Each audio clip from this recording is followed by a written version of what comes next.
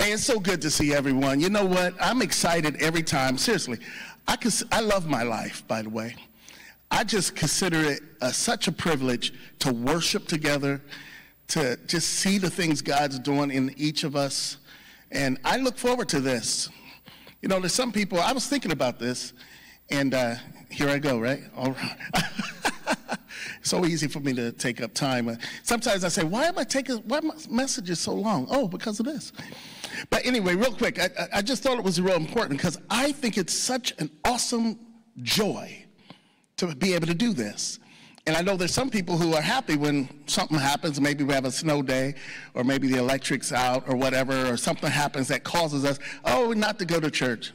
I understand sometimes we're tired, but I really do look forward to what we just got to do together. Yeah.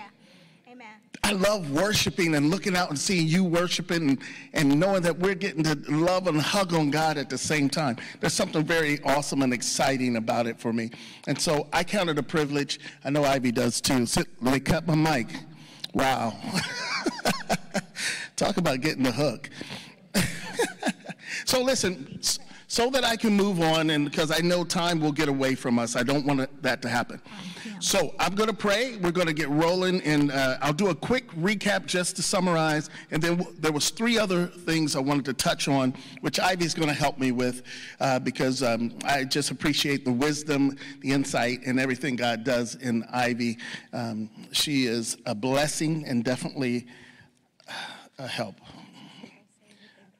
No, I'm not saying anything crazy, honey.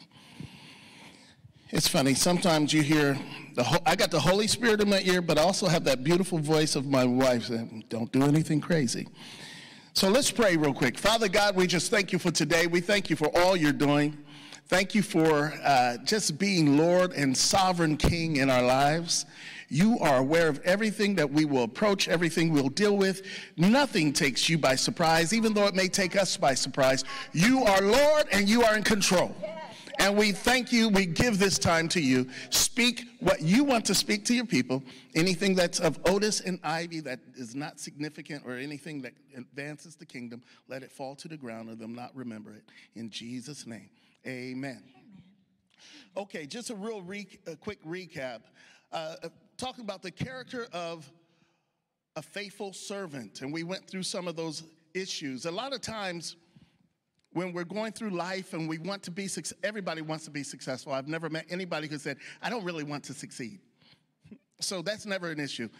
But the, the issue at times is we wonder why we're not succeeding, why we're not uh, reaching full potential and having the type of success that uh, we believe God wants us to have. A lot of times, I think that's connected to things that we're allowing to short circuit all the talent, all the giftings that He's given us, all the skills that we've learned. Sometimes it comes down to our character. And faithful servants are those who are going to be good stewards and try to uh, uh, exemplify the character of God. And so that's the issue that we want to deal with, and you just being you and who God's created you to be. So I had talked before, and I won't go through all the uh, all of this information, but one of the things I did mention it was a quote that I liked from Abraham Lincoln that said, "Reputation is the shadow, and character is the tree." So again, reputation is a shadow. Your character is who you really are. Character is the character is the substance, the main thing, but people get to see the reflection or the shadow that you cast. And so that's your reputation, right? I hope we all have a good reputation. That's our goal. A couple of things that we talked about was in forgiveness. You know, it's very important that we have the forgiveness of God. The biggest thing we can consider is that God forgave us all of something. That keeps me from being a judge of people. Now, don't get me wrong. There's, God expects us to make good, sound judgments. He, he, he expects us to call foul or right and wrong. That's okay. But I'm not supposed to judge people. I'm not supposed to hold people in unforgiveness because really what happens is it short uh, circuits everything God has for us. If there's a, a, demonic force that won't leave you alone and you keep wondering why you can't get, get beyond it, check forgiveness. Who are you holding in unforgiveness? Seriously, it clogs up the gifts of God and the things God has for you. So that's one of the things we talked about. And like I said, I'm not going to go back into all that. We talked about self control. Self control is so important because uh, there's a lot of things that we, we work on and we try to develop, but yet we don't show the self control to not react to what's happening, opposed to just listening to God and being people of action. When you're not, when you don't have control, your self control, you just respond to things. And how easy is it for the devil to get you to fall into the wrong trap? You know, uh, he sets you up. I think of Joseph. Joseph, a mighty man of God, he, and, and here uh, his master's wife was trying to get him to do things that he shouldn't be doing with her. But Joseph had self control.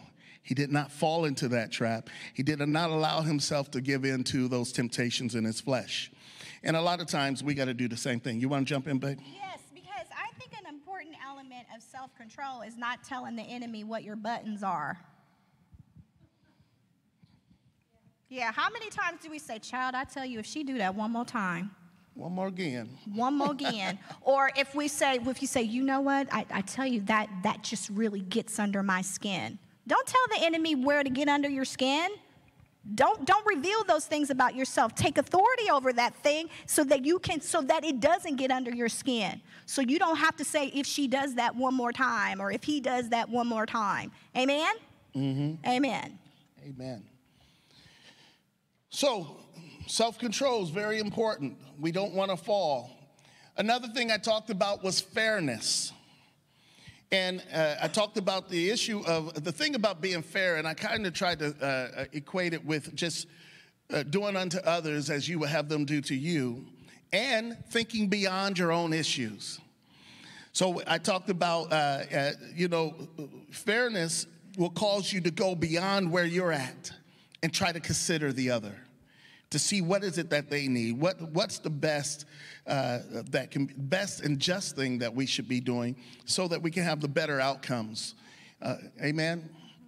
And so fairness is very important uh, in that. So we talked about those things and so now we come to a point. I think we should say that. Go on and say it. Um, another issue, another thing or tenet of fairness is that fairness is not based upon whether you feel the person deserves it or not. Okay? It is not our job to determine people's worthiness. Mm-hmm. Amen. It's that's not our job. What we want done to and for us, we must do to and for others. That's what fairness is. Amen. So let's not let's not be judgy. Let's not be legalistic. Let's just think about okay, what does that person need? Amen. Because look, we are all living under God's unmerited favor. Amen. That's what Amen. grace is. We don't deserve his grace, but he gives it to us anyway. Can we say hallelujah? Amen. Yeah, hallelujah. he gives it to us anyway. Look, we all know what we did yesterday and what we said and what we was thinking. We need to quit clowning.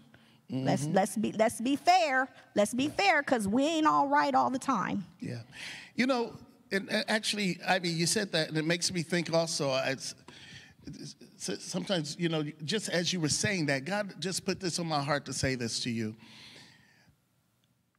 When God moves on your heart to give, whatever it is, financially, materials, time, when you're being obedient to God, just be obedient to God and not worry about what the person's doing with it. Now, I'm not saying we should be stupid. Okay, there's sometimes I've learned in times past, I can't just give that certain person cash. mm-hmm. yeah. I remember one time, well, well, yeah, I won't go into too much detail, but anyway, I remember I was talking to my dad and I, I went home. They said, Did you give so and so cash? I went home to visit. They said, Did you give that person cash? I said, Yeah. Oh, Junior. Oh, they're just gonna go get drugs. I didn't know what was going on at home. And I gave cash. So, with that knowledge now, I know not to give cash. But what I do want to release us from is that a lot of times what Ivy's talking about is are they worthy of it? Was there a cause for it? Was it right for them? When I hear God say, give somebody 20 bucks or give somebody $100, Or like I've told you before, God told me to give my keyboard away. I didn't say, are they worthy? So just to let you off the hook, when God tells you to give, give.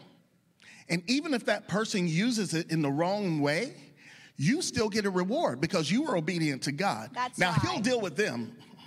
That's Okay, right. so be free. That's be right. free. Amen, You don't have to go and inspect uh, what people are doing. If you really heard from God, now if it's just you being loving and uh, well, let me see. if it's self-prompted, okay, fine. You can check that a little bit more and make sure you're sowing good because the Bible does tell us to sow well. Mm-hmm. Okay, we need to sow into good soil. That's okay. But when I hear God say, "Otis, do," I'm gonna do it. Yep. Okay. And he he does that a lot. he does that a lot. He'll just say, "Hey, um, well, I don't know. We'll just be driving up somewhere, and he'll say, um, I want you to give them fifty dollars." And I've learned after how many years have we been married? Oh my goodness, 28, girl. I forget. He's when it comes to that kind of stuff, he's the girl. I'm the boy. How dare she? Um, I just don't remember. I'm offended. Well, I don't even remember how old I am, but um, he'll he'll just say, "Give that person fifty dollars," and I've learned over the years that I just don't question it. I just don't question that anymore. Back in the day, earlier in our marriage, I'd be like, "Well, what? Who do you know who they are? Do you know what they're going to do? Uh, where do they live? Who are their people?" Those are the types of things I used to ask before, and and I have I have a confidence and I trust his I trust his Holy Ghost ear, and so when he says, "I want to do such and such," I'm just like, "Okay." Okay. And now gotten to the point where I'll say, hey, or, or I'll say, hey, I want to give so and so such and such. And he'll say, okay. And, and I'll say, what amount do you want to give? And he'll say an amount and then I double it. We're still going through counseling on that piece. I just think it's so fun. I do. I look well because I just I just want people. For me, I just don't want people to be stressed. And if I could give you fifty dollars so that you can fill your tank for that week, it's like, yay, that person's gonna have a good week, and that makes me happy. That makes me happy. Mm-hmm. Amen. God loves And a cheerful giver. Yeah, to- yeah, He does. It's, I mean, that's how we get to be God's hands and feet in the earth. So it's a good thing. And I love this thing too. I'm telling you, people, I, I've seriously, we've had people walk out of here because we asked for an offering Yeah. or asked for a tithe. Yeah, I don't get that. And people don't understand the principle, but I'm going to tell you if they really got that principle, Yeah. if God can trust you to be a conduit for Him to feed and take care of His people, and by when I say His people, they might not even be saved, but I mean people. Mm-hmm. He's working on them, okay, or whatever. But if He can trust you to be a conduit, you're always going to have a full supply Just flowing through. Some of it, he says, you can use that for that. You can use it. Uh, in other parts, he says, just keep it flowing. And I'm telling you, if you if you just saw what we u- what our income when we first got married compared to what our income is now, Yeah. I know it's because we've been obedient, and Yes. God is a, a rewarder of those who diligently seek Him. Yes. He's a good God. Yes, Amen. is. Can somebody agree with that and have some? I mean, I know you got some testimonies out there. Amen. Amen. I know you have testimonies. Amen. God's going to even keep giving to uh, to Bethel because he, uh, they know Bethel is a good steward Yeah. of the funds. That's right. We don't waste the money. That's right. We do what God tells us to do. Amen. All right. So anyway, I got off. No, that, that was good. That was very good, and we're very much on task. Hallelujah. um, another uh, element of having godly character, the character of a faithful servant, is confidence. Confidence. Confidence helps us to rely on the Lord for all things in our life. How much is in all? All, everything. The exclusion Okay. of none. the exclusion of none. So, confidence helps us to rely on the Lord for all things in our life. Confidence enables us to push forward in the direction that we are called because Jesus is in control. It's not, this is not about self esteem. Don't get me wrong, self esteem is a good thing. We should all have a good self esteem. But as believers and Christians, our self esteem should be rooted in Jesus. Our mm-hmm. self-esteem should be rooted in the word and what and what the word says about us. What does God say about us? That's where our confidence comes from.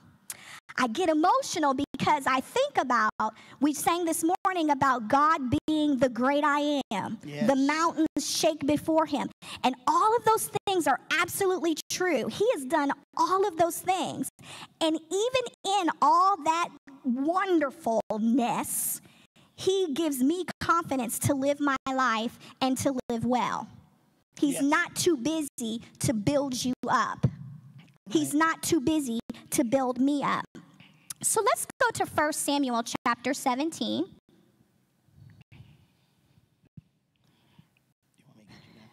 Oh, I got it. I just, I'm just pushing buttons. That's what I like about my phone. Mm. First Samuel chapter 17, verse 23. And this is the story of David and Goliath. And I, we all know this story, but sometimes we sum it up. So I think it's good to go through it again. So I'm going to start reading at verse 23. Then, as he talked with them, there was the champion, the Philistine of Gath, Goliath by name, coming up from the armies of the Philistines. And he spoke according to the same words. So David heard them. And all the men of Israel, when they saw the man, fled from him and were dreadfully afraid. Shall be that that man who kills him, the king will enri- enrich with great riches, will give him his daughter and give his father's house exemption from taxes in Israel. That look, that's awesome. Then David spoke to the men who stood by him, saying, What shall be done for the man who kills this Philistine and takes away the reproach from Israel? For who is this uncircumcised Philistine that he should defy the armies of the living God? And the people answered him in this manner, saying, So it shall be done for the man who kills him. Now Eliab, his older oldest brother, heard when he spoke to the men, and Eliab's anger was aroused against David, and he said, Why did you come down here? And with whom have you left these few sheep in the wilderness? I know your pride and the insolence of your heart, for you have come down to see the battle. And David said, What have I done now? Is there not a cause? Then he turned from him toward another and said the same thing. And these, and these people answered him as the first ones did. Now, when the words which David spoke were heard, they reported them to Saul, and he sent for him. And then David said to Saul, Let no man's heart servant will go and fight with this Philistine. David, being young, he was young. Everybody else around him was older. They probably had families. They were more established. David didn't care because he knew the word. He said, How dare this person come and defy Israel? Mm-hmm. Do you know who we are? That's basically what he was saying. You don't know who we he didn't he didn't know who we are. And that's the reason why he could get up and say all the things that he was saying. And David said, "No, we're not going to have that. He is not going to defy the living God." And so David was confident that anything that stood against God would lose. He was confident about that. So, confidence again propels us into doing what God has called us to do. David knew that a reward was being offered. But honestly, I think David knew about that offering, but David, I think David got his backup. Y'all know what I mean when I say that? He heard that he heard that man talking and he was just like, I don't know who this person think he is. Who did he think he is? Right. And I don't know. He may have had a little neck roll with that too. He may have just been like, I don't know what you're doing. And so he just, he just, he was confident in what God said about the people of Israel. And so he did what he knew how to do. Saul tried to dress him in the armor. And David was like, nope, this doesn't work for me. And he went out and got what he always would use to, to defeat the enemy a lion, a bear. He got what he always used. He got those five stones and he threw them and he killed Goliath. That's, That's right. confidence. That's right. That's not looking to the right or to the left and being deterred by what is around you. When you're confident in Holy Spirit, when you're confident in Jesus, nothing can stand against you. Let's go to John chapter 15. John. John chapter 15, verse 9. As the Father loved me, I also have loved you. Abide in my love. If you keep my com- commandments, you will abide in my love, just as I have kept my Father's commandments and abide in his love. These things I have spoken to you, that my joy may remain in you, and that your joy may be full. This is my commandment that you love one another as I have loved you. Greater love has no one than this, than to lay down one's life for his friends. You are my friends if you do whatever I command you.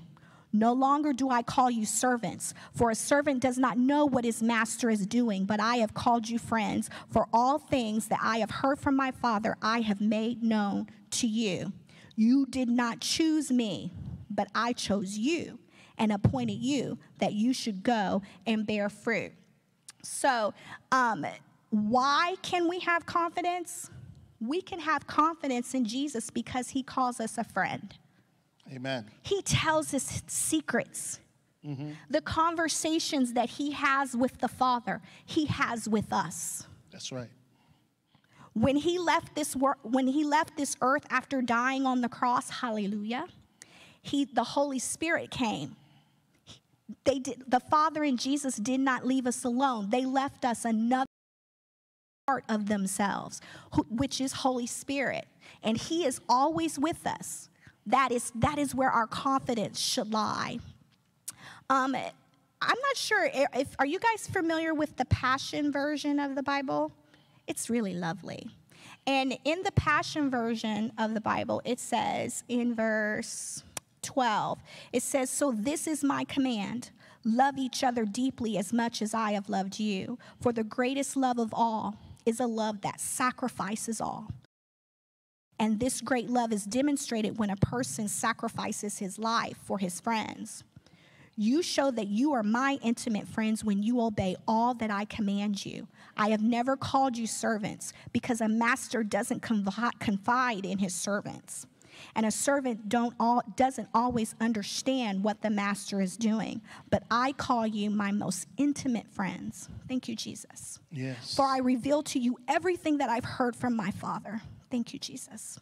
You didn't choose me, but I've chosen and commissioned you to go into the world and to bear fruit, and your fruit will last. Because whatever, whatever you ask of my Father for my sake, he will give it to you. This is my parting command love one another deeply. So we are friends of God. Let's have confidence in that. Try to do everything all by ourselves within our own power because our power ain't nothing. That's right. It ain't, it's a whole lot of nothing. So let's let's have confidence in Holy Spirit. Let's move out thing. Let's uh, all of our actions, the way we feel, our thoughts, they should all rest in Holy Spirit and what Jesus says about us. And I, am staying on this for a while because um, in this area, there's a principality. Mm-hmm. There's a principality over this area of poverty. We come against that in the name of Jesus, and it will be defeated. Hallelujah. Amen. It will be defeated. Amen. Hallelujah. Amen. And so right. one of the one of the tenets of poverty is is a, a, just a lack of confidence, not feeling as though we deserve certain things or not feeling as though that we are smart enough to have certain things. No, no, no, no. Jesus calls us a friend. He tells us God's secrets. Do you get that? The conversations that Jesus and, and the Father have, we get to be a part of. There's no need to have a low self esteem because we are friends of God. Amen? That's right. Amen. So we are confident we can do all things through Christ yes. who strengthens us. Yes. Amen? Amen. All Amen. things. Hallelujah. Mm. That's good. Hallelujah. You know, and I'm happy she said something there about the confidence. Um, you know, I thought of several examples. Um, you know, I remember years ago, my credit wasn't what it should be. And I remember I had a car that was given to us. It was our first car together. Because I had some, I had one this one car that was just, I would be laugh because I lay hands on it and it would, would, come back to life in the it, name of Jesus. no, no, for real. for real. He would lay hands on that car and it would come hey, back. seriously. That bad boy stopped on us on a date in Columbus. Yep. And I, I, she thought I was crazy, but I prayed over that bad boy. Yep. But anyway, that car finally died and my mother in law gave me a vehicle. Mm-hmm. And so that was cool. No, no, no. Can I tell him why mom gave? okay, can I tell it? Go ahead. Okay. Go ahead. My mom, my mom gave us this car because she thought it was complete lunacy that we would be on the side of the road and he would be laying hands on a car. So she gave us a car because she thought that that was insane. But now, but now you know she knows that we're we're we're people because look, we grew up in the Baptist church and you just didn't do that. People, that was weird. And so my mom was like, Y'all ain't gonna be sitting on the side of the road praying. Just take this car. Yep. So she blessed us. So I was fortunate. I didn't need credit to get that car from her. And I was a, well, maybe 22. But anyway, uh, and so, you know, uh, I had some mishaps and stuff. But I remember a time going to, because that car died that was given to us as well. And so finally, I, we had to buy a vehicle. And I had to do some financing. And there was so much trepidation when I filled out that application and trying to wait for the banks. And my m- mindset was, oh, please say yes. oh, please say yes. I need that. But you know, over the years, uh, well, we got that and we were faithful. And we handled our, we were good stewards over, over things. And so it's funny, that's, that type of mindset is so far removed from me that when I go and get pre approval at the credit union, they're trying to give me way more than I want. And there's like, you can go up to this amount. I said, I will never buy a car for that much, you know? And, but the difference is the confidence level has shifted. Yeah. Now it's more so of, oh, this is a done deal. Hey, babe, I'll come home tonight with whatever it is. Now, I only say that so I can build you in your confidence in to say that those areas where in times past, Maybe the devil's been able to whoop us up on a certain area, or uh, I don't care what it is, whatever it is that we struggle against, or maybe we fly off the handle, or we say something out of our mouths too quick. Whatever those areas are that in times past you kind of anticipate, even if it's a, a teacher about to hand you your report back, and you're kind of like, oh, here we go again. I got an A plus. It's the surprise.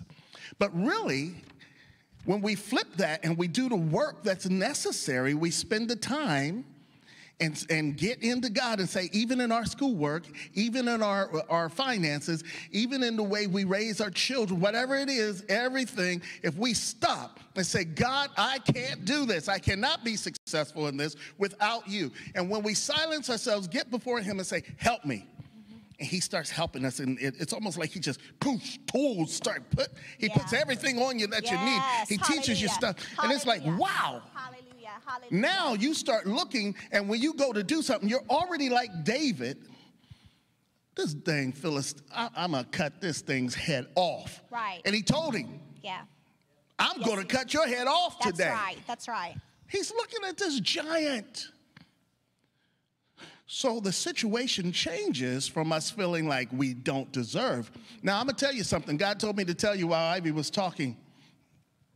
Uh, because he's, he's has said this to me in other ways. I always look for my weaknesses and I drive into them.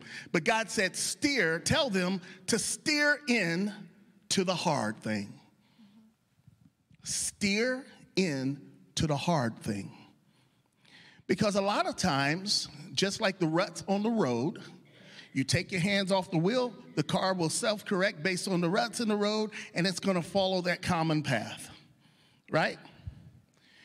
But God is saying to us if we want to gain confidence in those areas where we're unsure, you got to intentionally steer into the difficult yeah. part. Yeah. And that's contrary to us because we don't want to be difficult. We don't want to deal with the thing that's hard. We don't want to have to tell that family member that they shouldn't be doing uh, whatever, shouldn't have an abortion. Or we don't want to tell them they shouldn't be shacking up with so and so. Or we don't want to tell them they shouldn't be cussing out their children like that. Yeah. yeah. Why? Because you might lose a friend. Mm-hmm. They might not invite you back for Christmas. Mm-hmm. Whatever it is. But God is saying those things that we need to develop steer into the difficult place. I know I need to move on, right? Okay, so, and, and remember, the end goal is that we are confident in who we are. I can't even go on, actually. I can't go on yet because I missed one piece. It's hard. I remember Joy's not here right now, but she had asked me really last week. She said, "What is your message going to be?" And I started. I was did have a different message for you, but it was called "Stop Dipping." You know how we dip into everybody else's business?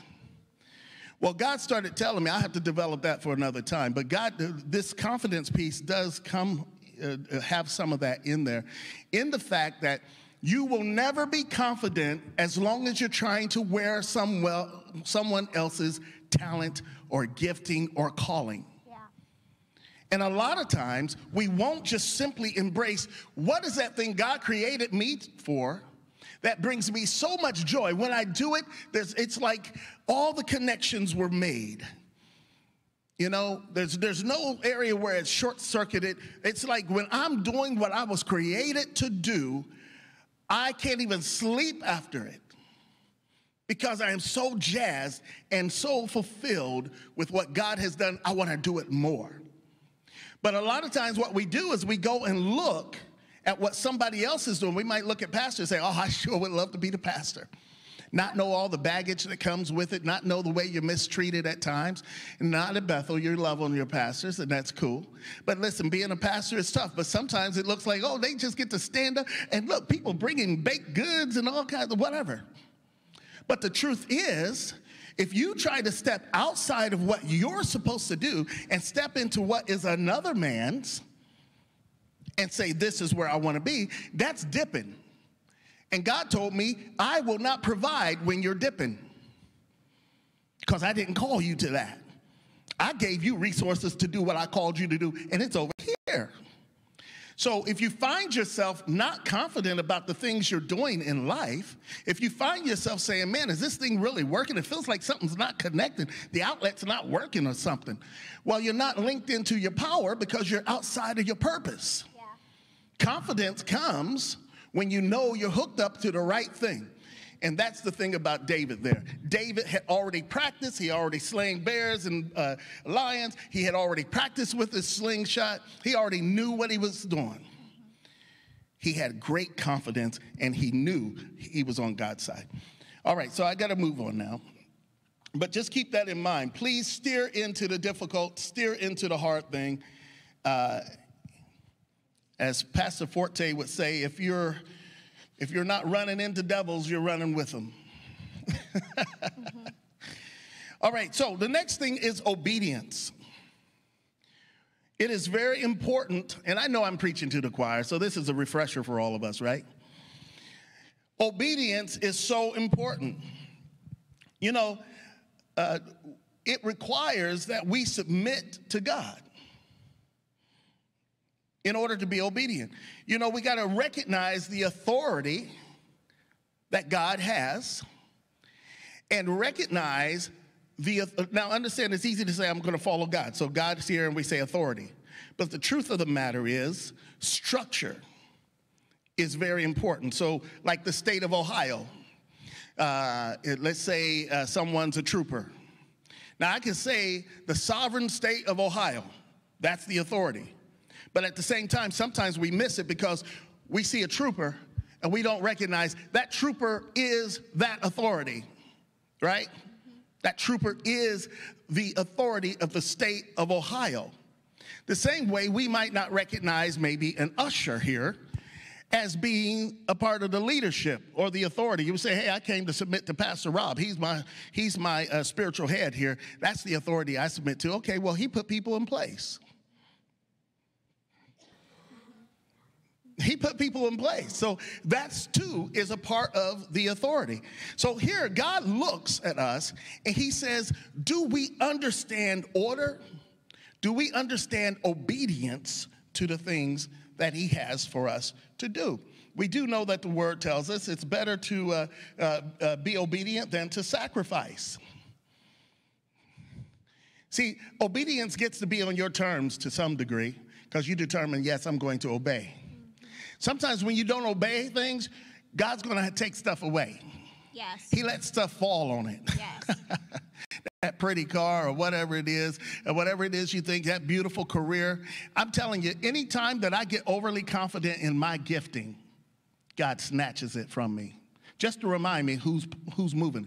If I ever get overly confident, I'm serious. I could be playing chords that I've known for years. And if I ever think that I'm something special, I'll start jacking up chords like, what am I, what happened? You better listen to me, boy. That's what I hear him saying. There's times he said, do this. And I'm like, yes, sir. I've learned that now. But earlier on, he said, do this. And I, hey, this one sounds so much better here, God. This makes more sense for this song to be here. This makes more sense for me to do this one. He says, No, do what I told you to do. And if I try to do anything other than what he told me to do, okay, dummy. And normally I don't say dummy. Ivy will tell you I don't say dummy or stupid. I don't let, allow our family to say that because I know the accuser of the brethren says that already enough. But seriously, in that situation, God's like, hey, knucklehead, you want to do that on your own? Okay, I'm not paying for that. I don't have resources for you there because you're outside of my obedience. And so now you're out there and you're sacrificing. what are you sacrificing? You, your reputation, not going to be brought back, might lose your job, lose your credibility, time with your family, as Ivy just said. So understand, it's it's better to be obedient. Always better. Amen. Always better. Now, I do want to share a certain scripture here, and we've heard this over and over, but if we could look at Matthew 8, verse 17 through 13. Oh, I'm sorry, did I miss it? Oh, 7, 17 to 13. I'm going backwards. Uh, um, Matthew 8, verse 7 through 13. You going to read it? Sure. Sure. Okay. Um, this is the story of the centurion and, and um, his sick servant. And Jesus, in verse 7, and Jesus said to him, I will come and heal him. The centurion answered and said, Lord, I am not worthy that you should come under my roof. Only speak a word, and my servant will be healed. For I also am a man under authority, having soldiers under me. And I say to this one, Go, and he goes, and to another, Come, and he comes, and to my servant, Do this, and he does it. When Jesus heard it, he marveled and said to those who, who followed, Assuredly, I say to you, I have not found such great faith, not even in Israel. Mm. And I say to you that many will come from east and west and sit down with Abraham, Isaac, and Jacob in the kingdom of heaven. But the sons of the kingdom will be cast out into outer darkness. There will be weeping and gnashing of teeth. Then Jesus said to the centurion, Go your way, and as you have believed, so let it be done for you. And his servant was healed that same hour. Mm, mm, mm. Amen. Now, there's so much in there, I don't have time to get into it. But I do want to lift two levels of things in there as far as obedience and understanding order and uh, um, uh, protocol. Okay? So here you have this man who recognized that Jesus was the Messiah. He's the one who's able to get things done. He also recognized who he was in comparison to Jesus. He said, Look, don't come to my house. I'm not even worthy that you'd step into it. He recognized his position to Jesus. Okay? That was very important because a lot of us, uh, and I'm not saying us in here are doing this, I'm just saying at times people feel entitled or we feel that God, uh, I'm God's chosen. And sometimes we really let that go to our head and think, I can approach God any way I want to. No, no. Clearly, I'm really not worthy. Uh, you know, I'm going to put my head down. Jesus, now, Jesus can say, Now lift your head up, it's okay. But the truth of the matter, you got to recognize your ways are so much higher than my ways. I'm not even worthy to tie your shoes. Okay? So that's one piece, that centurion. But even still, that centurion had authority, he was a person in power. So he understood when I tell one to go, he goes. And when I tell him to come, he comes. I understand how it works. There gets to be a point where you're so confident that people who understand order are going to follow it because they understand they're stewards over that piece. Okay? So for me, there's some who would say to me and have said in times past, you should be a senior pastor somewhere. Okay, yeah, I've been in the ministry a long time. That don't matter. No. But guess what? That's my senior pastor. That's right. That's and when right. he tells me he wants something, I don't care if he puts a nice bow on it or anything. Right. I'm doing it. That's right. I mean, as long as it's scriptural. you know, I, am just doing it. Yeah. And some people might say, well, man, you've been in the ministry so long, you, you know what you, yeah, I know what I'm doing too. But I'm submitting to something that's bigger than me. Like I said about the state of Ohio, well, he represents God in my life right? Just like I'm supposed to represent God in my family's life, right? Okay, so that's one piece. I have to recognize that. So here you get the centurion who had power. He knows he could tell people to do thus or so, and he knows how it works. Mm-hmm. He knows the workings of it. He also recognizes his position to Jesus that Jesus, he's not even worthy that Jesus would come. But there's another level. He also understood that Jesus has so much authority that even spirits, sickness, or whatever would have to respond to him. He said, Listen, man, all you got to do is say the word. All you got to say the word. And I know every obedience is set up on so many levels that even the devil had to go to Jesus, I mean, had to go to God and say, You take that barrier down around from uh, uh, uh, Job. Yeah. Yeah. The devil had to go and request Uh, to have an audience to even mess with Job. So there's a whole structure set up, priorities and hier- hierarchies that are set up that it has to happen. When Jesus says go, the devil has to go. That's right. Hallelujah. Hallelujah. All right. Hallelujah. So I know I'm kind of going further away, but I just That's want you to know good. that obedience, if we operate under obedience, we will have access in faith or trust from God that He can use us in a powerful way. But if he has to worry about you going rogue all the time, then he has to withhold things. Amen? Amen. Amen.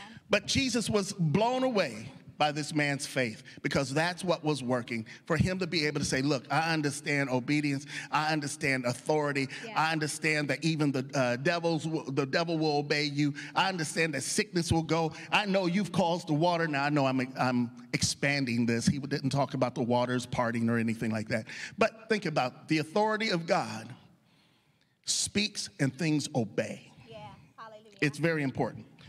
All right, so we have to model that as well. It's not okay for us to, st- never mind. Why do you say never mind? Well, I, I, could go into other places. I'm trying to get through this, but let's let's just put it this way. Um, it's not okay to be at work and taking stuff. Right. It's not okay to decide, even in your job, that the boss said do thus or so, and you decide I'm not doing it. Because even in that, that's disobedience. Mm-hmm. When your child rebels and does what they want to, they are causing things to come back up on them. And we're sowers. I shared this last time. We sow seed. And so when you sow disobedience, now you're wondering why you got this crop of disobedience and wonder why your children won't follow. I'm still talking about us being faithful servants and uh, uh, grabbing hold of all the victory and all the successes that God wants for us. Okay, I got to move on. So I'm going to move on to love and I will, uh, this is the last piece I want to share, and then um, we will pray. But so listen, it's very important about love. And sometimes when we throw out the word love, it's easy to say, oh, yeah, love, love. Oh, I love this. I love that. I love my music. I love whatever. But we, I'm talking about agape love. Not the type of love you have for your spouse, not the type of love you have for a friend, Oh, here, let me clear, clarify that. You should have agape love for your spouse or for, for everybody else. But I'm saying it's not that eros love where it's a, a, a romantic. It's not uh, phileo, which is a, uh, um, a friend. A, friendship, a friendship type of love. Yeah. It's agape love, which is not self serving. It goes above and beyond, and it gives love uncondi- uh, unconditionally. Okay, so here, love will enable us to appreciate our brothers and sisters in the Lord. Okay, now, I want you to think about because I, I wanted to pull out that word appreciate. I put that in there on purpose because appreciate means so much more. Right now, when I'm doing finance, I do finances for the county, and there's times that we uh, get uh, uh, equipment or assets that I can depreciate.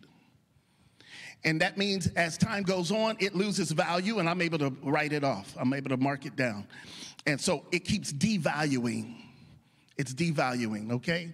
But really, if we love one another like God, God is love Everywhere God goes, He makes the environment, He makes the people better. And so when I say appreciate, it helps us, working out of that love helps us to appreciate and contact with means this Ivy's value should increase because I'm with her. That means I should be building her up. You know, like your house. I don't, I don't want to act like she's property, but understand this.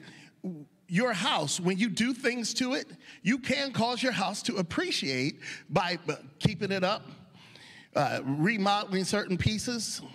You know, there's things you can do. So later on, as time goes on, you should sell your house for more than you bought it for because normally property will appreciate depending on the area you live in. That's how we should be. Yes. So I think we need to ask ourselves when I'm with someone, are the words I'm saying causing them to appreciate or increase in value? Mm-hmm. When they're telling you your, their vision or their hopes of what they think God wants to do, are your words words that will encourage them to pursue God and all that they have? And once they know for sure that's what God told them to do, are you reminding them that because God said it, He can do it? Are you telling them? I'm so happy. You know, I remember going to see Devin. I went to Devin's uh, graduation party. High school. Uh, oh, yeah. High, high yeah, high, high school. school. That's what I meant. And I remember when he started doing school. And I like hearing, hey, how far you got to go? How much more? You can do that. You got, you know, it's it's it's awesome to me to be able to look out at each of you and know that I have a relationship. And what I hope is that you are better off by knowing me. Because if I've ever said anything that tears down the vision or the mission that you have in life, I'm not loving you. Yes, yes, yes, yes, yes, yes. When you're talking to me and I'm listening to you do you have my full attention? And am I more so cutting down the things you say that you want to do? Or am I telling you that's not possible? Don't you know where you came from? You can't produce that. You can't do that. That's not God. God moves in love. And when he moves in love, it's beyond what he wants. I'm not going to even even if you uh, if you're pursuing a job and I hear you got the job you want and here maybe I don't think I have the right job. I'm not going to be upset because you got an awesome job. I should say awesome. That's I right. knew you could do it. That's right. God can do it. You know, I should be encouraging you. That's what love looks like. Love that appreciates. Love that appreciates in a marriage means that you're not um, enamored by the shiny new thing walking in front of you because you know that what you have at home, what you've invested in, what you've sowed into, what you have appreciated, you know that that is better because it has, it's grown. Amen? Amen? So that adultery can't get in when you appreciate. Mm-hmm.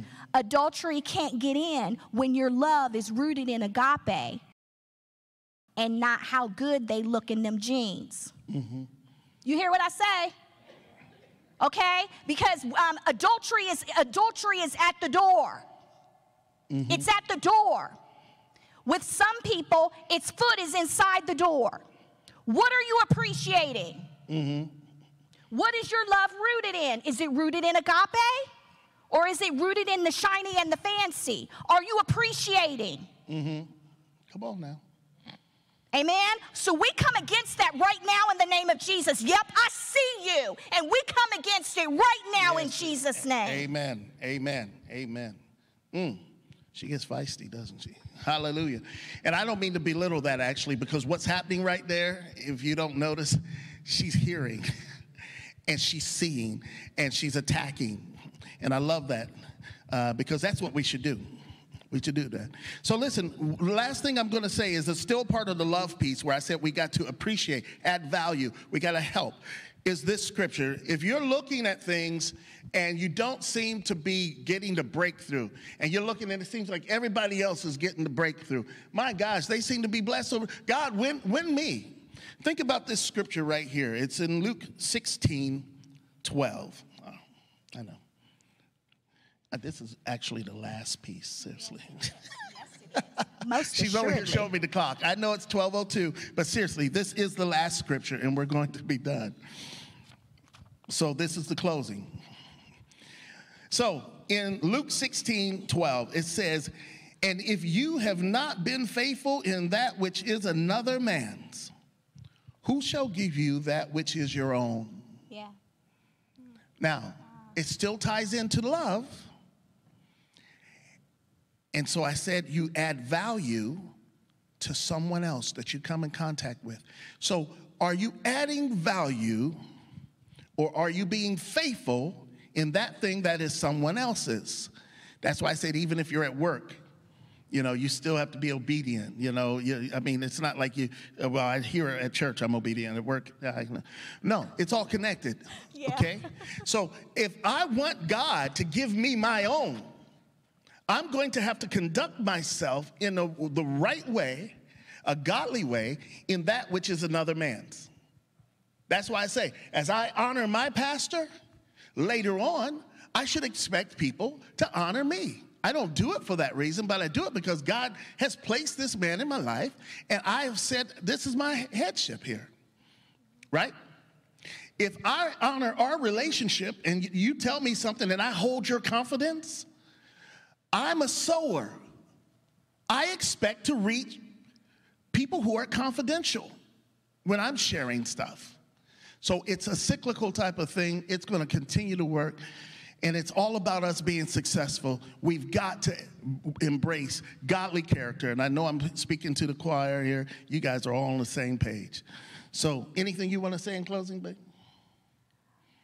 Um, yes. If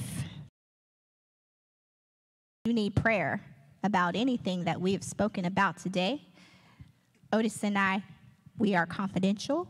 You have our confidence, and we will pray and minister to you. Amen. Amen. Amen. All right. Well, listen, thank you guys for uh, listening to us. And you'll be back to Norm, the, the powerful, of course, we could never replace the powerful word that comes from Amen. Pastor you, Rob. We missed you, brothers. Justice.